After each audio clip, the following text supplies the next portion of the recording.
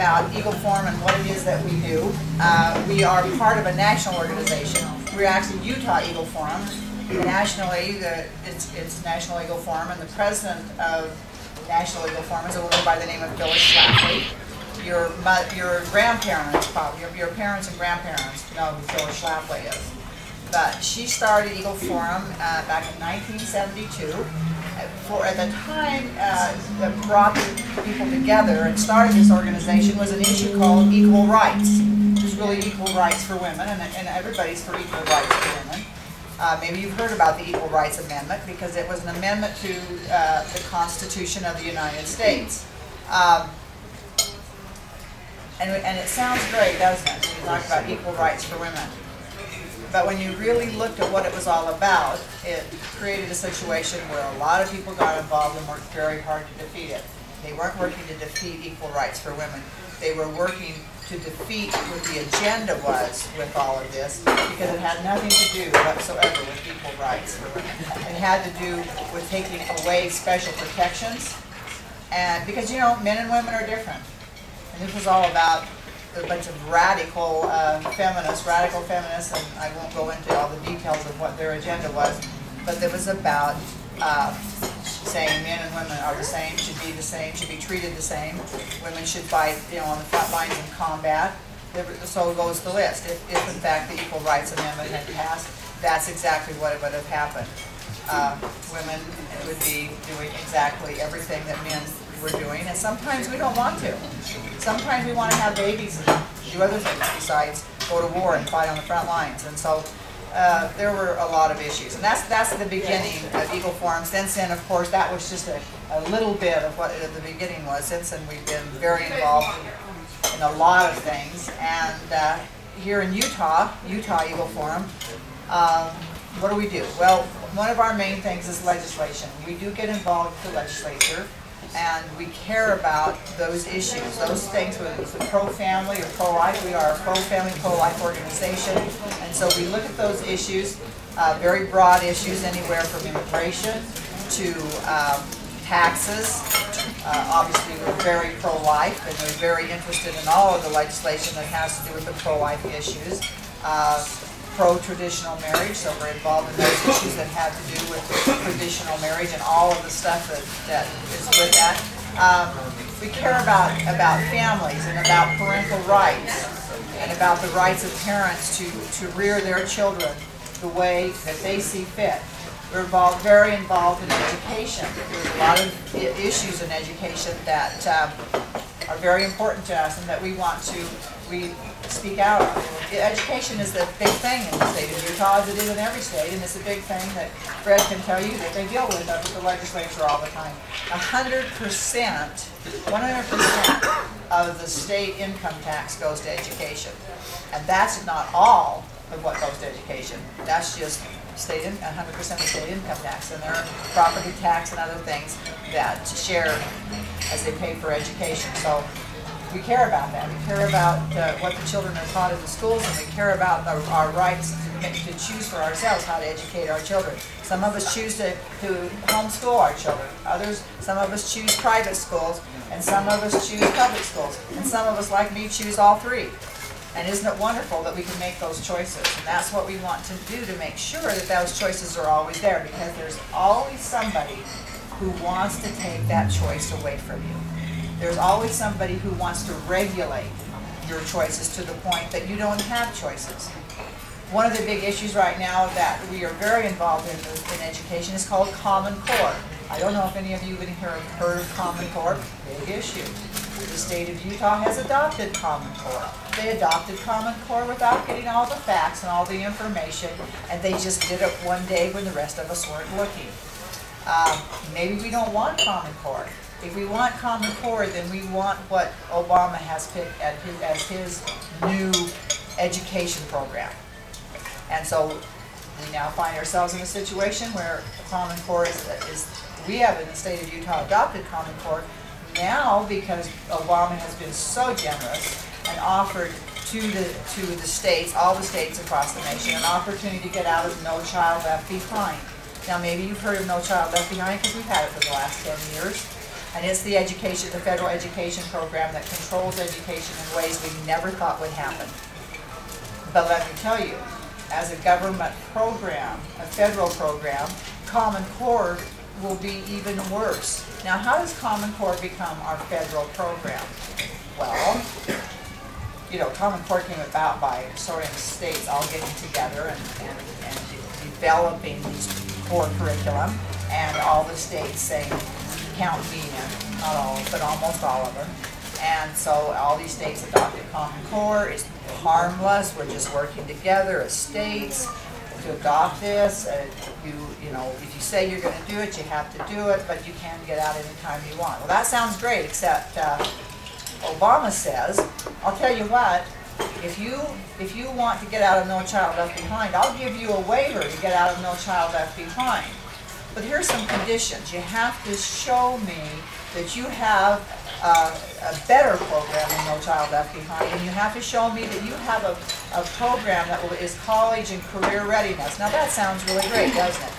He gave you a couple options to choose from. Guess what? One option is Common Core. And the state of Utah said, count us in because we've adopted Common Core.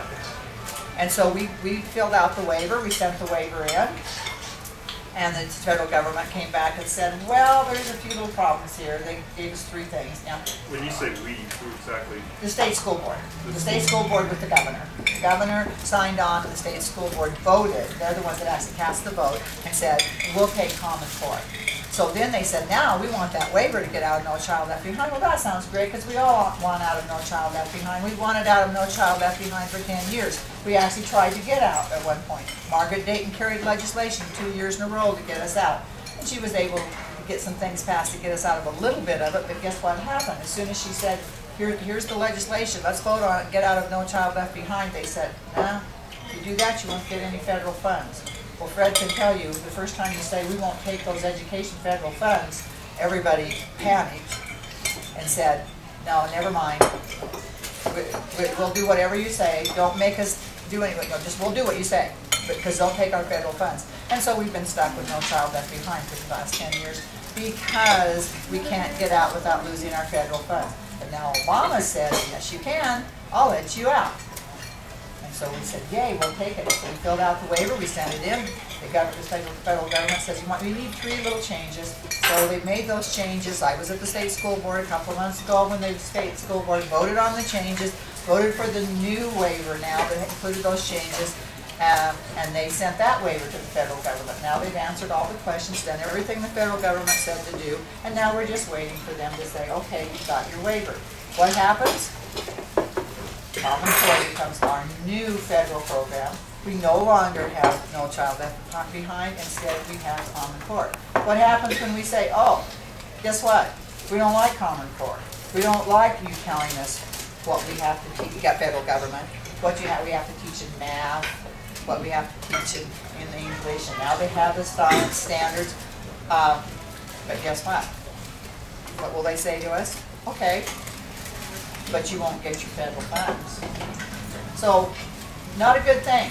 Happened behind closed doors. Most people don't even know that happens. Most people, including the governor, thinks we can get out anytime we want. Well, we can today. We won't be able to probably by the end of the summer, because once the waiver goes into effect, we're stuck. Now, I'm not the only one saying this, I'm not the only one that's upset by this, and I'm not the only one that's trying to get them to back off and to, to not feel, accept the waiver, trying to get them stopped. I talked to Rob Bishop the other day, we talked for an hour about this very issue. And Rob said, you know, I ran around ten years ago begging people not to adopt No Child Left Behind. He the same people right now that are adopting Common Core. I said, don't do it, don't do it. No Child Left Behind will do this and this and this. Oh, no, it's wonderful. The teachers loved it, everybody loved it, until they had to live under it, and they all hate it now. Well, guess what? Rob's doing the same thing now, saying, what are you guys doing? What do you think you're doing? If you think No Child Left Behind is bad, he said, wait till you have to live under federal Common Core, core standards from the federal government. As he put it, it, it's the first time ever in the history of the federal government's involvement in education that uh, the federal government will control the core standards the states. And the state of Utah said, bring it on. We can't wait. We love it. Because they, the, the school board loves the core curriculum. They want that control from the federal government, and they want all the money they can get. So Fred, the legislature better get us out of it, because the state school board's not gonna get us out of it. And we're gonna live that way. And it can affect everything. It can affect those very choices that I just told you about. And how would they affect those choices? How would it affect a homeschool family? They don't have their children in the public school, so they're not dealing with the core standard.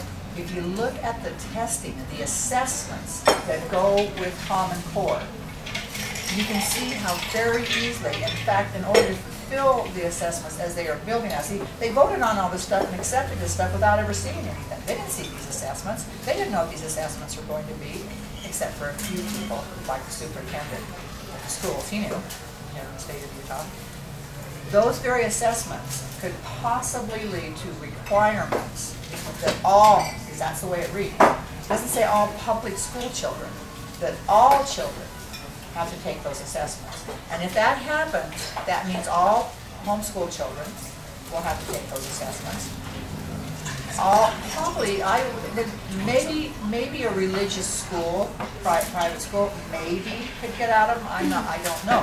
Because we're losing our religious freedoms as fast as we're losing our other freedoms and liberties. So it's hard to say.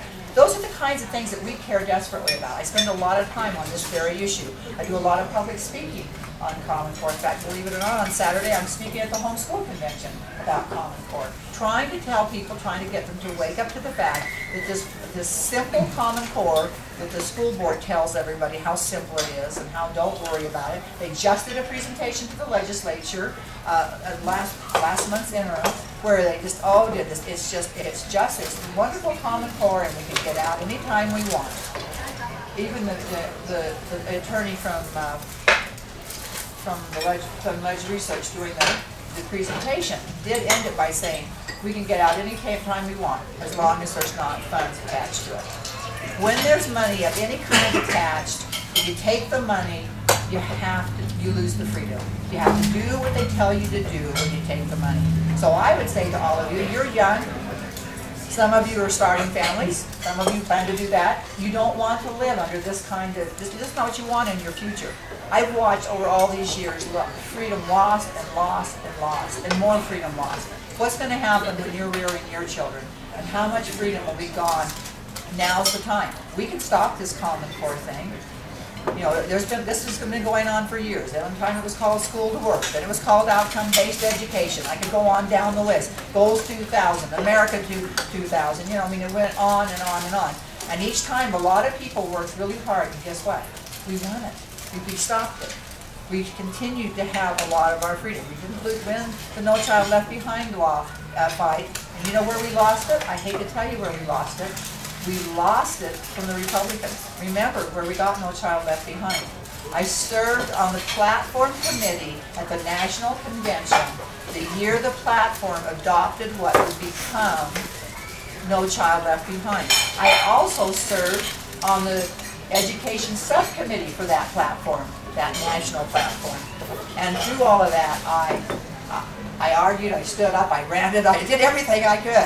And, you know, one by one, we lost the people that started out supporting us. And, and by the end, there was only a couple of us. Believe it or not, an attorney from Texas, it was his governor in Texas, who was running for the president of the United States, gave us No Child Left Behind. And everybody said, but we have to vote for it because our candidate wants it. Not a good way to go, because here's what we ended up with. You know, No Child Left Behind, it wasn't called that when they, when they were doing it in Texas.